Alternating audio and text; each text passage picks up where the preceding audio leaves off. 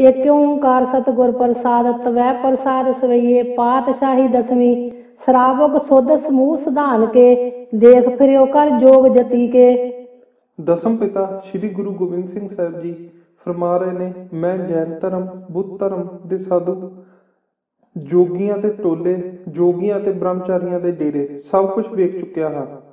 ਸੂਰ ਸਰਾਰਦਨ ਸੁਧ ਸਿਧਾਦਿਕ ਸੰਤ ਸਮੂਹ ਅਨੇਕ ਮਤੀ ਕੇ। ਗੁਰੂ ਸਾਹਿਬ ਜੀ ਫਰਮਾ ਰਹੇ ਨੇ ਸੂਰਮੇ ਦੈਨ ਪਵਿੱਤਰ ਅੰਮ੍ਰਿਤ ਪੀਣ ਵਾਲੇ ਦੇਵਤੇ ਅਤੇ ਕਈ ਹੋਰ ਮਤਾਂ ਦੇ ਸੰਤਾਂ ਦੇ ਟੋਲੇ ਵੀ ਦੇਖ ਆਇਆ ਹਾਂ। ਸਾਰੇ ਹੀ ਦੇਸ਼ ਕੋ ਦੇਖ ਰਹੇ ਹੋ ਮਤ ਕੋ ਨਾ ਦੇਖੀਅਤ ਪ੍ਰਾਨਪਤੀ ਕੇ। ਗੁਰੂ ਸਾਹਿਬ ਜੀ ਫਰਮਾ ਰਹੇ ਨੇ ਸਾਰੇ ਹੀ ਦੇਸ਼ ਦੇ ਧਰਮਾਂ ਨੂੰ ਦੇਖ ਚੁੱਕਿਆ ਹਾਂ ਪਰ ਕੋਈ ਵੀ ਮਤ ਜਿੰਦ ਦੇ ਮਾਲਕ ਪਰਮਾਤਮਾ ਦਾ ਨਹੀਂ ਦਿਖਦਾ। ਸ੍ਰੀ ਭਗਵਾਨ ਕੀ ਭਾਈ ਕਿਰਪਾ ਹੂੰ ਤੇ ਏਕ ਰਤੀ ਬਿਨ ਏਕ ਰਤੀ ਕੇ। ਗੁਰੂ ਸਾਹਿਬ ਜੀ ਫਰਮਾ ਰਹੇ ਨੇ, ਜੇ ਪਰਮਾਤਮਾ ਵਿੱਚ ਸ਼ਰਧਾ ਨਹੀਂ ਬਣੀ, ਜੇ ਵਾਹਿਗੁਰੂ ਪਿਆਰ ਤੋਂ ਸਖਣੇ ਰਹੇ, ਜੇ ਪਰਮਾਤਮਾ ਦੀ ਮਿਹਰ ਦੀ ਨਜ਼ਰ ਹੀ ਨਹੀਂ ਹੋਈ, ਤਾਂ ਉਸ ਦਾ ਮੁੱਲ ਰੱਤੀ ਭਰ ਵੀ ਨਾ ਸਮਝੋ।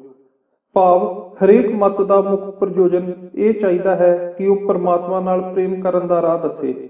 ਜੇ ਇਹ ਨਹੀਂ ਹੈ, ਤਾਂ ਉਸ ਦਾ ਮੁੱਲ ਰੱਤੀ ਮਾਤਰ ਹੀ ਸਮਝੋ। ਮਾਤੇ ਮਤੰਗ ਜਰੇ ਜਰ ਸੰਗ ਅਨੂਪ ਉਤੰਗ ਸੁਰੰਗ ਸਵਾਰੇ। ਗੁਰੂ ਸਾਹਿਬ ਜੀ ਫਰਮਾ ਰਹੇ ਨੇ ਜੇ ਸੋਨੇ ਦੇ ਗਹਿਣਿਆਂ ਨਾਲ ਸਜਾਏ ਹੋਏ ਅਤੀ ਸੁੰਦਰ ਬੇਮਿਸਾਲ ਉੱਚੇ ਕੱਦ ਕਾਠ ਵਾਲੇ ਸੋਹਣੇ ਰੰਗ ਨਾਲ ਸਜਾਏ ਸਵਾਰੇ ਮਸਤ ਹਾਥੀ ਹੋਣ। ਕੋਟ ਤੁਰੰਗ ਕੁਰੰਗ ਸੇ ਕੂਦਤ ਪੌਣ ਕੇ ਗੌਨ ਕੋ ਜਾਤ ਨਿਵਾਰੇ। ਗੁਰੂ ਸਾਹਿਬ ਜੀ ਫਰਮਾ ਰਹੇ ਨੇ ਜੇ ਕਰੋੜਾਂ ਹੀ ਘੋੜੇ ਹੋਣ ਜੋ ਹਰਨਾ ਵਾਂਗ ਛਾਲਾਂ ਮਾਰਦੇ ਹੋਣ ਅਤੇ ਇੰਨੇ ਤੇਜ਼ ਚੱਲਦੇ ਹੋਣ ਕਿ ਹਵਾ ਦੀ ਚਾਲ ਨੂੰ ਵੀ ਮਾਤ ਕਰੀ ਜਾਣ। ਭਾਰੀ ਭਜਾਨ ਕੇ ਭੂਪ ਭਲੀ ਵਿਦ ਨਿਆਵਤ ਸੀਸ ਨ ਜਾਤ ਵਿਚਾਰੇ। ਗੁਰੂ ਸਾਹਿਬ ਜੀ ਕਹਿ ਰਹੇ ਨੇ ਜੇ ਵੱਡੀਆਂ ਜੋ ਰਾਵਰ ਬਾਵਾਂ ਵਾਲੇ ਰਾਜੇ ਜੋ ਚੰਗੀ ਤਰ੍ਹਾਂ ਪ੍ਰਸਿੱਧ ਹੋਣ ਅਤੇ ਉਹਨਾਂ ਸਾਹਮਣੇ ਸਿਰ ਝੁਕਾਉਣ ਵਾਲਿਆਂ ਦੀ ਗਿਣਤੀ ਦਾ ਅੰਦਾਜ਼ਾ ਵੀ ਨਾ ਲਗਾਇਆ ਜਾ ਸਕੇ ਇਤੇ ਭੈ ਤੋ ਕਹਾਂ ਭੈ ਭੂਪਤ ਅੰਤ ਕੋ ਨਾਂਗੇ ਹੀ ਪਾਏ ਪਧਾਰੇ। ਗੁਰੂ ਸਾਹਿਬ ਜੀ ਕਹਿ ਰਹੇ ਨੇ ਇੰਨੇ ਵੱਡੇ ਤੇਜ ਪ੍ਰਤਾਪ ਵਾਲੇ ਰਾਜੇ ਵੀ ਹੋਣ ਤਾਂ ਕੀ ਹੋਇਆ? ਅਖੀਰ ਵੇਲੇ ਦੁਨੀਆ ਤੋਂ ਨੰਗੇ ਪੈਰੀ ਹੀ ਤੁਰ ਜਾਂਦੇ ਹਨ। ਜੀਤ ਫਿਰੇ ਸਭ ਦੇਸ ਦਸਾਨ ਕੋ ਬਾਜਤ ਢੋਲ ਮਰਦੰਗ ਨਗਾਰੇ। ਗੁਰੂ ਸਾਹਿਬ ਜੀ ਕਹਿ ਰਹੇ ਨੇ ਜੇ ਕੋਈ ਦੇਸ਼ਾਂ ਦੇਸ਼ਾਂਤਰਾਂ ਨੂੰ ਜਿੱਤਦਾ ਫਿਰੇ ਅਤੇ ਉਸ ਦੇ ਅੱਗੇ ਢੋਲ ਮਿਰਦੰਗ ਅਤੇ ਤੌਂਸੇ ਵੱਜਦੇ ਹੋਣ ਗੂੰਜਤ ਗੂੜ ਗਜਾਨ ਕੇ ਸੁੰਦਰ ਹਿੰਸਤ ਹੈ ਹੀ ਰਾਜ ਹਜ਼ਾਰੇ। ਗੁਰੂ ਸਾਹਿਬ ਜੀ ਕਹਿ ਰਹੇ ਨੇ ਤਵੇਲਿਆਂ ਵਿੱਚ ਸੁੰਦਰ ਹਾਥੀਆਂ ਦੇ ਟੋਲਿਆਂ ਦੇ ਟੋਲੇ ਗੂੰਜਦੇ ਹੋਣ ਅਤੇ ਹਜ਼ਾਰਾਂ ਹੀ ਵਧੀਆ ਘੋੜੇ ਹਿੰਕਦੇ ਹੋਣ। ਭੂਤ ਭਵਿਖ ਭਵਾਨ ਕੇ ਭੂਪਤ ਕੌਣ ਗਨੇ ਨਹੀਂ ਜਾਤ ਵਿਚਾਰੇ। ਗੁਰੂ ਸਾਹਿਬ ਜੀ ਕਹਿ ਰਹੇ ਨੇ ਇਹ ਸਾਰੀ ਮਾਇਆ ਦੇ ਮਾਲਕ ਪਰਮਾਤਮਾ ਦੇ ਸਿਮਰਨ ਤੋਂ ਬਿਨਾ ਆਖਰ ਨੂੰ ਇਹ ਸਾਰੇ ਰਾਜੇ ਵੀ ਮੌਤ ਦੇ ਦੇਸ਼ ਤੁਰ ਜਾਂਦੇ ਹਨ। ਉਹਨਾਂ ਦਾ ਤੇਜ ਪ੍ਰਤਾਪ ਸਭ ਇੱਥੇ ਰਹਿ ਜਾਂਦਾ ਹੈ। ਭਾਵ ਦੁਨੀਆ ਦੇ ਪ੍ਰਤਾਪ ਦੇ ਮਾਣ ਕਾਰਨ ਸਿਮਰਨ ਤੋਂ ਵਾਂਝੇ ਰਹਿ ਗਏ ਅਤੇ ਆਖਰ ਜਮਾਂ ਦੇ ਬਸ ਪੈਣਾ ਹੀ ਪੈਂਦਾ ਹੈ। ਇਹ ਐਸ਼ੋ ਆਰਾਮ ਦੇ ਸਮਾਨ ਇੱਥੇ ਹੀ ਰਹਿ ਜਾਂਦੇ ਹਨ। ਤੀਰਥ ਨਾਨ ਦਿਆ ਦਮ ਦਾਨ ਸੋ ਸੰਜਮ ਨੇਮ ਅਨੇਕ ਬਸਿਖੈ ਗੁਰੂ ਸਾਹਿਬ ਜੀ ਫਰਮਾ ਰਹੇ ਨੇ ਜੇ ਕੋਈ ਆਦਮੀ ਤੀਰਥਾਂ ਦੇ ਇਸ਼ਨਾਨ ਜੀਵਾਂ ਉੱਪਰ ਤਰਸ ਮਨ ਨੂੰ ਬੁਰੇ ਕੰਮਾਂ ਵੱਲੋਂ ਰੋਕਣ ਦੇ ਯਤਨ ਦਾਨ ਪੁੰਨ ਮਨ ਵਸ ਵਿੱਚ ਕਰਨ ਦੇ ਸਾਧਨ ਅਤੇ ਹੋਰ ਅਨੇਕਾਂ ਹੀ ਖਾਸ ਸਾਧਨ ਕਰਦਾ ਫਿਰੇ। ਵੇਦ ਪੁਰਾਣ ਕਤੇਵ ਕੁਰਾਨ ਜ਼ਮੀਨ ਜਮਾਨ ਸਵਾਨ ਕੇ ਪੇਖੈ। ਗੁਰੂ ਸਾਹਿਬ ਫਰਮਾ ਰਹੇ ਨੇ ਜੇ ਕੋਈ ਵੇਦ ਪੁਰਾਣ ਪੱਛਮੀ ਧਰਮ ਦੀਆਂ ਕੁਰਾਨਾਂ ਆਦ ਚਾਰੇ ਕਿਤਾਬਾਂ ਅਤੇ ਸਾਰੀ ਧਰਤੀ ਦੇ ਸਾਰੇ ਹੀ ਗ੍ਰੰਥਾਂ ਨੂੰ ਪੜ੍ਹੇ ਪੌਣ ਆਹਾਰ ਜਤੀ ਜਤ ਧਾਰ ਸਵੇ ਸੋ ਵਿਚਾਰ ਹਜ਼ਾਰ ਕ ਦੇਖੇ। ਜੇ ਕੋਈ ਨੀਰੀ ਹਵਾ ਦੇ ਆਸਰੇ ਜੀਵੇ ਹੋਰ ਕੁਝ ਖਾਵੇ ਪੀਵੇ ਨਾ ਬ੍ਰਹਮਚਾਰੀ ਵਾਲਾ ਜੀਵਨ ਗੁਜ਼ਾਰੇ ਅਤੇ ਹੋਰ ਹਜ਼ਾਰਾਂ ਹੀ ਜਿਹੇ ਸਾਧਨ ਸੋਚਦਾ ਰਹੇ। ਸ੍ਰੀ ਭਗਵਾਨ ਭਜੇ ਬਿਨ ਭੂਪਤ ਏਕ ਰਤੀ ਬਿਨ ਏਕ ਨ ਲੇਖੇ। ਤਾਂ ਗੁਰੂ ਸਾਹਿਬ ਜੀ ਕਹਿ ਰਹੇ ਨੇ ਤਾਂ ਵੀ ਸਾਰੀ ਸ੍ਰਿਸ਼ਟੀ ਦੇ ਮਾਲਕ ਵਾਹਿਗੁਰੂ ਦਾ ਸਿਮਰਨ ਕਰਨ ਤੋਂ ਬਿਨਾ ਰੱਬ ਦੇ ਪਿਆਰ ਤੋਂ ਬਿਨਾ ਉਸ ਦਾ ਕੋਈ ਸਾਧਨ ਵੀ ਕਿਸੇ ਕੰਮ ਦਾ ਨਹੀਂ। ਭਾਵ ਤੀਰਥ ਇਸ਼ਨਾਨ ਆਦਿਕ ਸਾਧਨ ਧਰਮ ਪੁਸਤਕਾਂ ਦਾ ਨਿਰਪੜਨਾ ਬ੍ਰਹਮਚਾਰਕ ਆਦਿਕ ਵਾਲੇ ਕਠਨ ਤਪ ਇਹ ਸਾਰੇ ਉਦਮ ਨਿਸਫਲ ਹਨ ਜੇ ਪਰਮਾਤਮਾ ਨਾਲ ਪਿਆਰ ਕਰਨ ਦੀ ਜਾਂਚ ਨਹੀਂ ਸਿੱਖੀ। ਸੁਤ ਸਪਾਹ ਦੁਰੰਤ ਦਵਾਹ ਸੋ ਸਾਜ ਸਨਾਹਦੁਰ ਜਾਨ ਦਲੇਂਗੇ। ਗੁਰੂ ਸਾਹਿਬ ਜੀ ਕਹਿ ਰਹੇ ਨੇ ਅਜਮਾਏ ਹੋਏ ਬਹਾਦਰ ਯੋਧੇ ਵੀ ਜੋ ਜਿੱਤ ਨਾ ਜਾ ਸਕਣ। ਜਿਨ੍ਹਾਂ ਦੀ ਝਾਲ ਨਾ ਚੱਲੀ ਜਾ ਸਕੇ ਜਿਨ੍ਹਾਂ ਦੀ ਤਲਵਾਰ ਦੇ ਵਾਰ ਨਾ ਚੱਲੇ ਜਾ ਸਕਣ ਜੋ ਲੋਹੇ ਦਾ ਕੁੜਤਾ ਪਾ ਕੇ ਵੈਰੀਆਂ ਦਾ ਨਾਸ਼ ਕਰ ਦਿੰਦੇ ਹਨ। ਪਾਰੀ ਗੁਮਾਨ ਭਰੇ ਮਨ ਮੈਂ ਕਰ ਪਰਵਤ ਪੰਖ ਹਲੇ ਨਾ ਹਲੇਂਗੇ। ਗੁਰੂ ਸਾਹਿਬ ਜੀ ਕਹਿ ਰਹੇ ਨੇ ਜਿਨ੍ਹਾਂ ਦੇ ਮਨ ਵਿੱਚ ਇਹ ਹੰਕਾਰ ਭਰਿਆ ਹੋਵੇ ਕਿ ਪਹਾੜ ਵੀ ਖੰਭ ਲਾ ਕੇ ਆਪਣੇ ਟਿਕਾਣੇ ਤੋਂ ਹਿੱਲ ਜਾਣ ਪਰ ਅਸੀਂ ਜੰਗ ਦੇ ਮੈਦਾਨ ਦੇ ਵਿੱਚ ਅਡੋਲ ਰਵਾਂਗੇ ਆਪਣੇ ਪੈਂਤੜਿਆਂ ਤੋਂ ਨਹੀਂ ਹਿੱਲਾਂਗੇ। ਤੋਰ ਅਰੀਨ ਮਰੋਰ ਮਵਾਸਨ ਮਾਤੇ ਮਤੰਗਨ ਮਾਨ ਮਲੇਂਗੇ। ਗੁਰੂ ਸਾਹਿਬ ਜੀ ਕਹਿ ਰਹੇ ਨੇ ਜੋ ਆਪਣੇ ਬੈਰੀਆਂ ਨੂੰ ਭੰਨ ਤੋੜ ਕੇ ਆਕੀਆਂ ਦੀਆਂ ਧੌਣਾ ਮਰੋੜ ਕੇ ਮਸਤੇ ਹੋਏ ਹਾਥੀਆਂ ਦਾ ਵੀ ਹੰਕਾਰ ਤੋੜ ਸਕਦੇ ਹਨ। ਸ੍ਰੀਪਤ ਸ੍ਰੀ ਭਗਵਾਨ ਕਿਰਪਾ ਬਿਨ ਤਿਆਗ ਜਹਾਨ ਨਦਾਨ ਚਲੇਂਗੇ।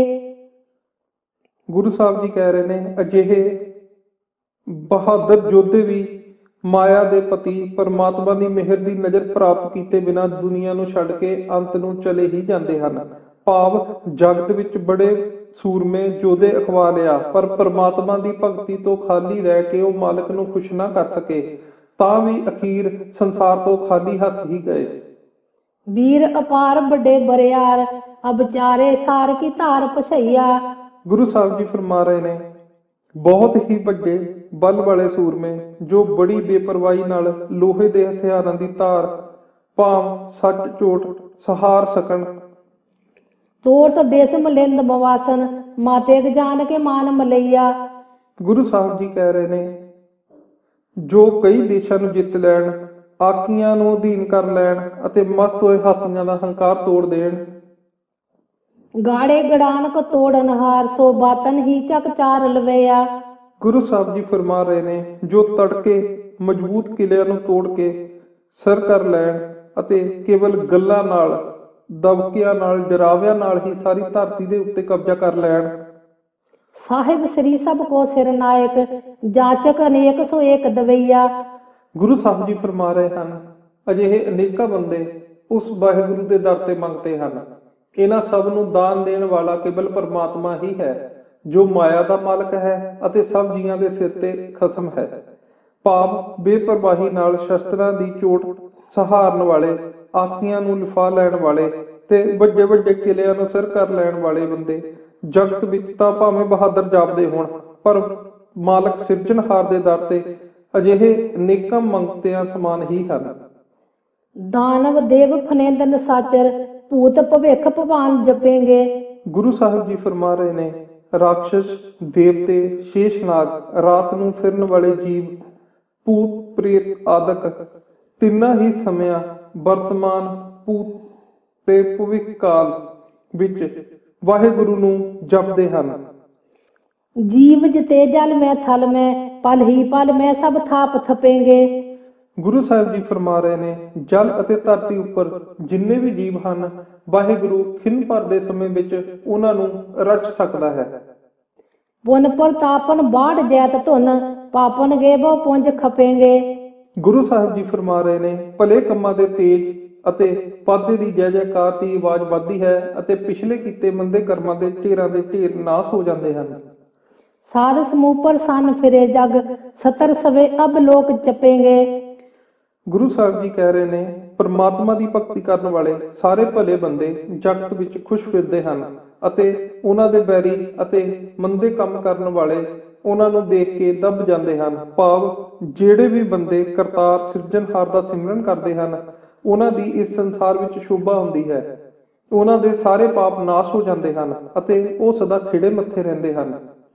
ਮਾਨਵ ਇੰਦਰ ਗਜਿੰਦਰ ਨਰਾਤਵ ਜੌਨ ਤਰ ਲੋਕੋ ਰਾਜ ਕरेंगे ਗੁਰੂ ਸਾਹਿਬ ਜੀ ਫਰਮਾ ਰਹੇ ਨੇ ਜੋ ਮਨੁੱਖ ਵੱਡੇ ਵੱਡੇ ਹਾਥੀਆਂ ਦੇ ਮਾਲਕ ਹੋ ਕੇ ਚੱਕਰਵਰਤੀ ਰਾਜੇ ਬਣ ਜਾਂਦੇ ਹਨ ਅਤੇ ਸਾਰੀ ਸ੍ਰਿਸ਼ਟੀ ਤੇ ਰਾਜ ਕਰਦੇ ਹਨ। ਕੋਟ ਇਸ਼ਨਾਨ ਗਜ਼ਾਦਿਕ ਦਾਨ ਅਨੇਕ ਸੋਮਬਰ ਸਾਜ ਬਰੇਂਗੇ। ਗੁਰੂ ਸਾਹਿਬ ਜੀ ਕਹਿ ਰਹੇ ਨੇ ਜੋ ਮਨੁੱਖ ਕਰੋੜਾਂ ਤੀਰਥਾਂ ਤੇ ਇਸ਼ਨਾਨ ਕਰਕੇ ਹਾਥੀ ਆਦਿਕ ਦਾਨ ਕਰਦੇ ਹਨ ਅਤੇ ਕਈ ਸਵੰਬਰ ਰਚਾ ਕੇ ਵਿਆਹ ਕਰਦੇ ਹਨ ਬ੍ਰਹਮ ਮਹੇਸ਼ਰ ਬਿਸ਼ਨ ਸੱਚੀ ਪਤ ਅੰਤ ਫਸੇ ਜਮ ਫਾਸ ਪਰੇਂਗੇ। ਗੁਰੂ ਸਾਹਿਬ ਜੀ ਕਹਿ ਰਹੇ ਨੇ ਇਸ ਤਰ੍ਹਾਂ ਦੇ ਵੱਡੇ ਵੱਡੇ ਮਨੁੱਖ ਤਾਂ ਕਿਤੇ ਰਹੇ। ਬ੍ਰਹਮਾ ਵਿਸ਼ਨੂੰ ਸ਼ਿਵ ਅਤੇ ਇੰਦਰ ਵਰਗੇ ਦੇਵਤੇ ਵੀ ਅੰਤ ਨੂੰ ਮੌਤ ਦੇ ਪੰਜੇ ਵਿੱਚ ਫਸ ਜਾਂਦੇ ਹਨ। ਜੇ ਨਰ ਸਿਰਿਪਤ ਕੇ ਪ੍ਰਸ ਹੈ ਪਗ ਤੇ ਨਰ ਫੇਰ ਨਾ ਦੇਹ ਧਰੇਂਗੇ। ਗੁਰੂ ਸਾਹਿਬ ਜੀ ਫਰਮਾ ਰਹੇ ਨੇ ਜਿਹੜੇ ਮਨੁੱਖ ਪ੍ਰਮਾਤਮਾ ਦੇ ਚਰਨੀ ਲੱਗਦੇ ਹਨ ਭਾਵ ਵਾਹਿਗੁਰੂ ਦੀ ਭਗਤੀ ਕਰਦੇ ਹਨ ਉਹ ਫਿਰ ਜਨਮ ਮਰਨ ਦੇ ਗੇੜ ਵਿੱਚ ਨਹੀਂ ਪੈਂਦੇ। ਭਾਵ, ਰਾਜ ਐਸ਼ੋ ਆਰਾਮ ਦੇ ਸਮਾਨ, ਤੀਰਥ, ਇਸ਼ਨਾਨ, ਦਾਨ ਪੁੰਨ, ਦੇਵੀ ਦੇਵਤਿਆਂ ਵਾਲੀ ਪਦਵੀ, ਇਹਨਾਂ ਵਿੱਚੋਂ ਕੋਈ ਵੀ ਜੀਵ ਨੂੰ ਮੌਤ ਦੇ ਗੇੜ ਵਿੱਚੋਂ ਨਹੀਂ ਬਚਾ ਸਕਦਾ। ਜੇ ਜੀਵ ਪ੍ਰਮਾਤਮਾ ਦੀ ਬੰਦਗੀ ਤੋਂ ਵਾਂਝਿਆ ਹੋਇਆ ਹੈ। ਕਹਾਂ ਭਿਓ ਜੋ ਦੋ ਲੋਚਨ ਮੂੰਦ ਕੇ ਬੈਠ ਰਿਓ ਬਕ ਧਿਆਨ ਲਗਾਇਓ। ਗੁਰੂ ਸਾਹਿਬ ਜੀ ਕਹਿ ਰਹੇ ਨੇ ਜੇ ਕੋਈ ਆਦਮੀ ਦੋਵੇਂ ਅੱਖਾਂ ਮੀਟ ਕੇ ਬੰਗਲੇ ਵਾਂਗ ਸਪਾਦੀ ਲਾ ਕੇ ਬੈਠਾ ਰਿਹਾ ਤਾਂ ਕੀ ਹੋਇਆ? ਇਸ ਦਾ ਕੋਈ ਲਾਭ ਨਹੀਂ ਹੋ ਸਕਦਾ। ਨਾਤ ਫਿਰਿਓ ਲਿਆ ਸਾਤ ਸਮੁੰਦਰਨ ਲੋਕ ਗਇਓ ਪਰ ਲੋਕ ਗਵਾਇਓ। ਗੁਰੂ ਸਾਹਿਬ ਜੀ ਫਰਮਾ ਰਹੇ ਨੇ ਜੇ ਕੋਈ ਮਨੁੱਖ ਸੱਤਾਂ ਸਮੁੰਦਰਾਂ ਤੱਕ ਸਾਰੇ ਤੀਰਥਾਂ ਤੇ ਇਸ਼ਨਾਨ ਕਰਦਾ ਫਿਰਿਆ ਤਾਂ ਉਸਨੇ ਲੋਕ ਵੀ ਗਵਾ ਲਿਆ ਹੈ ਭਾਵ ਹੁਣ ਵਾਲੇ ਜੀਵਨ ਦਾ ਸੁੱਖ ਵੀ ਨਹੀਂ ਭੋਗ ਸਕਿਆ। ਅਤੇ ਪਰਲੋਕ ਵੀ ਗਵਾ ਲਿਆ ਹੈ। ਭਾਵ ਪਰਮਾਤਮਾ ਦੀ ਭਗਤੀ ਤੋਂ ਬਿਨਾ ਉਸ ਨੂੰ ਪਰਮਾਤਮਾ ਦੀ ਦਰਗਾਹ ਵਿੱਚ ਇੱਜ਼ਤ ਨਹੀਂ ਮਿਲੇਗੀ। ਬਾਸ ਕੀਓ ਬਿਖਿਆਨ ਸੋ ਬੈਠ ਕੇ ਐਸੇ ਹੀ ਐਸੇ ਸੋ ਬੈਸ ਬਤਾਇਓ। ਗੁਰੂ ਸਾਹਿਬ ਜੀ ਕਹਿ ਰਹੇ ਨੇ ਜਿਸ ਮਨੁੱਖ ਨੇ ਵਿਸ਼ੇ ਵਿਕਾਰ ਚੰਗੇ ਮੰਦੇ ਚਸਕਿਆਂ ਨਾਲ ਹੀ ਸੰਗਤ ਕੀਤੀ ਭਾਵ ਜੀਵ ਮੰਦੇ ਕੰਮ ਅਤੇ ਮੰਦੇ ਸਵਾਦ ਲੈਂਦਾ ਰਿਹਾ ਉਸ ਨੇ ਆਪਣੀ ਉਮਰ ਵਿਅਰਥ ਹੀ ਗਵਾ ਲਈ। ਸਾਚ ਕਹੋ ਸੁਨ ਲਿਓ ਸਵੇ, ਜਿਨ ਪ੍ਰੇਮ ਕੀਓ ਤਿਨ ਹੀ ਪ੍ਰਭ ਪਾਇਓ। ਗੁਰੂ ਸਾਹਿਬ ਜੀ ਕਹਿ ਰਹੇ ਨੇ, ਸੱਚੀ ਗੱਲ ਧਿਆਨ ਨਾਲ ਸੁਣ ਲਵੋ, ਕਿ ਜਿਸਨੇ ਪਰਮਾਤਮਾ ਨਾਲ ਪਿਆਰ ਕੀਤਾ ਹੈ ਉਸ ਨੂੰ ਹੀ ਪਰਮਾਤਮਾ ਦੀ ਪ੍ਰਾਪਤੀ ਹੋਈ ਹੈ। ਭਾਵ, ਨਾ ਤਾਂ ਬਗਲ ਸਮਾਧੀਆਂ ਤੇ ਤੀਰਥ ਇਸ਼ਨਾਨਾਂ ਨਾਲ ਰੱਬ ਮਿਲਦਾ ਹੈ, ਤੇ ਨਾ ਹੀ ਵਿਸ਼ੇ ਵਿਕਾਰਾਂ ਵਿੱਚ ਪਏ ਰਹਿਣ ਨਾਲ ਜੀਵਨ ਮਨੋਰਥ ਹੈ। ਪਰਮਾਤਮਾ ਨਾਲ ਪਿਆਰ ਕਰਨਾ ਸਿੱਖਣਾ ਚਾਹੀਦਾ ਹੈ, ਕਿਉਂਕਿ ਪਰਮਾਤਮਾ ਨਾਲ ਪਿਆਰ ਹੀ ਪਰਮਾਤਮਾ ਨਾਲ ਮਿਲਾ ਸਕਦਾ ਹੈ। ਕਾਹੂ ਲੈ ਪਾਹਨ ਪੂਜ ਧਰਿਓ ਸਿਰ ਕਾਹੂ ਲੈ ਲਿੰਗ ਗਰੇ ਲਟਕਾਇਓ। ਗੁਰੂ ਸਾਹਿਬ ਜੀ ਕਹਿ ਰਹੇ ਨੇ ਕਿਸੇ ਨੇ ਪੱਥਰ ਭਾਵ ਸਾਲਗ੍ਰਾਮ ਲੈ ਕੇ ਪੂਜਾ ਕਰਕੇ ਉਸ ਨੂੰ ਸਿਰ ਤੇ ਰੱਖਿਆ ਹੈ ਭਾਵ ਸਾਲਗ੍ਰਾਮ ਅੱਗੇ ਸਿਰ ਨਿਭਾਇਆ ਹੈ ਉਸ ਨੂੰ ਮੱਥੇ ਟੇਕੇ ਹਨ ਅਤੇ ਸ਼ਿਵਲਿੰਗ ਨੂੰ ਗਲੇ ਵਿੱਚ ਲਮਕਾਇਆ ਹੋਇਆ ਹੈ। ਕਾਹੂ ਲਖਿਓ ਹਰ ਅਵਾਚੀ ਦਿਸ਼ਾ ਮੈਂ ਕਾਹੂ ਪੁਸ਼ਾਕੋ ਸ਼ੀਸ਼ ਨਵਾਇਓ ਗੁਰੂ ਸਾਹਿਬ ਜੀ ਕਹਿ ਰਹੇ ਨੇ ਕਿਸੇ ਨੇ ਪਰਮਾਤਮਾ ਨੂੰ ਦੱਖਣ ਵਾਲੇ ਪਾਸੇ ਦਵਾਰਕਾ ਵਿੱਚ ਵਸਦੇ ਜਾਣਿਆ ਹੈ ਅਤੇ ਕਿਸੇ ਨੇ ਪਰਮਾਤਮਾ ਨੂੰ ਪੱਛਮ ਵਾਲੇ ਪਾਸੇ ਕਾਵੇ ਵੱਲ ਸਿਰ ਝੁਕਾਇਆ ਹੈ। ਕੋ ਬਤਾਨ ਕੋ ਪੂਜਤ ਹੈ ਪਸ ਕੋ ਮਰਤਾਨ ਕੋ ਪੂਜਨ ਧਾਇਓ। ਗੁਰੂ ਸਾਹਿਬ ਜੀ ਕਹਿ ਰਹੇ ਨੇ ਕੋਈ ਮੂਰਖ ਬੁੱਤਾਂ ਨੂੰ ਰੱਬ ਸਮਝ ਕੇ ਪੂਜ ਰਿਹਾ ਹੈ ਕੋਈ ਮੁਰਦਿਆਂ ਜਾਂ ਕਬਰਾਂ ਨੂੰ ਪੂਜਣ ਲਈ ਭੱਜਾ ਫਿਰਦਾ ਹੈ। ਕੂਰ ਕਿਰਿਆ ਔਰ ਜਿਉ ਸਭ ਹੀ ਜਗ ਸ੍ਰੀ ਭਗਵਾਨ ਕੋ ਭੇਦ ਨਾ ਪਾਇਓ। ਗੁਰੂ ਸਾਹਿਬ ਜੀ ਕਹਿ ਰਹੇ ਨੇ ਸਾਰੇ ਹੀ ਜਗ ਝੂਠੀਆਂ ਰਸਮਾਂ ਝੂਠੇ ਕੰਮਾਂ ਵਿੱਚ ਰੁੱਝਿਆ ਜਾਂ ਫਸਿਆ ਹੋਇਆ ਹੈ ਪਰਮਾਤਮਾ ਦਾ ਭੇਦ ਕਿਸੇ ਨੇ ਨਹੀਂ ਪਾਇਆ। ਭਾਵ ਸਾਲਗ੍ਰਾਮ ਸ਼ਿਵਲਿੰਗ ਬੁੱਤਾਂ ਜਾਂ ਕਬਰਾਂ ਦੀ ਪੂਜਾ ਰੱਬ ਨੂੰ ਕਿਸੇ ਖਾਸ ਇੱਕ ਪਾਸੇ ਸਮਝ ਕੇ ਉਸ ਪਾਸੇ ਸਿਰ ਨਵਾਈ ਜਾਣਾ ਇਹ ਗੱਲ ਨਾਲ ਪਰਮਾਤਮਾ ਨੂੰ ਮਿਲਣ ਦਾ ਭੇਦ ਨਹੀਂ ਮਿਲਦਾ। ਵਾਹਿਗੁਰੂ ਜੀ ਕਾ ਖਾਲਸਾ ਵਾਹਿਗੁਰੂ ਜੀ ਕੀ ਫਤਿਹ।